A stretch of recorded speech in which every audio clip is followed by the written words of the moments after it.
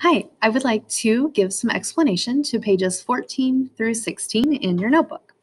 So um, the goal is I can identify different relationships in a scatter plot. The first thing you're going to do is describe the association for each scatter plot using linear or nonlinear, and you're going to drag you dragged the correct term under each graph. So this one you'll see that it um, it is happening in a in a line. So it's not like all of the data falls on the straight line but you can tell that it's got a linear path to it.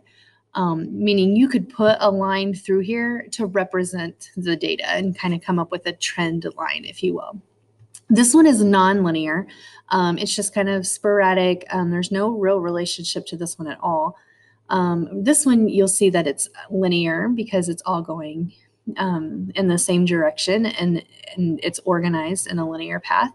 This one is also linear. You'll see it going up like that.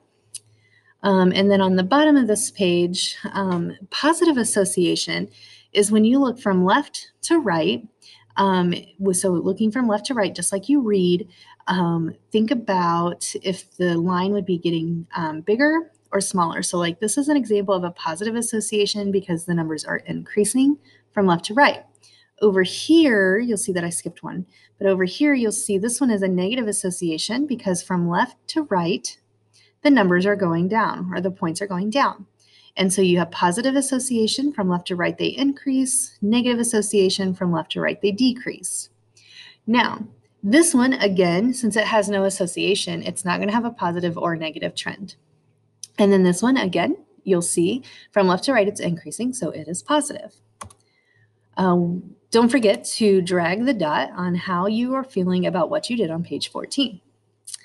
On page 15, you will see um, you needed to do a scatter plot. So you used these dots over here and you click and drag them so you can see where they're supposed to go. Um, and then you answer the questions at the bottom.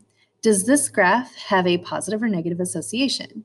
So it is trending in this direction, which means from left to right, the numbers are getting bigger. So it's going to have a positive association. It does have a linear association. It's not perfectly linear, um, but you can see that it's in as it's going through that um, path, you'll see it. Um, so this would can be considered having a linear association. Um, and then does it have any outliers? And I'm going to say no, that it doesn't have any outliers. This one may look like it's a like a little far off, um, but it's not too far off. If this happened to be like way down here, then this would be considered an outlier. But it's not. It was up here somewhere. Oh, oops, that doesn't look right. Um, how about I just hit undo? There we go. Um, so um, this one isn't considered an outlier. So an outlier would be something that's really far off the graph. Like if we had one up here or if we had one down here, those would be considered outliers. And then finally, on page 16, um, the first thing that you had to draw was a scatter plot that had a linear association. So it just needs to have a straight line. So it could go like this, it could go like this. Um, you could continue using more points in here if you want, um, just so you can see that it, it has a linear association, that somewhere in there, there would be a line that could represent the majority of that data. Um, down here, it says um, a negative association with one outlier.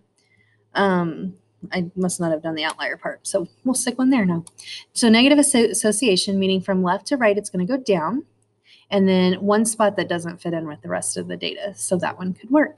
Um, so hopefully that helps. And please let me know if you have any questions or need me to clear anything up for you. Thank you.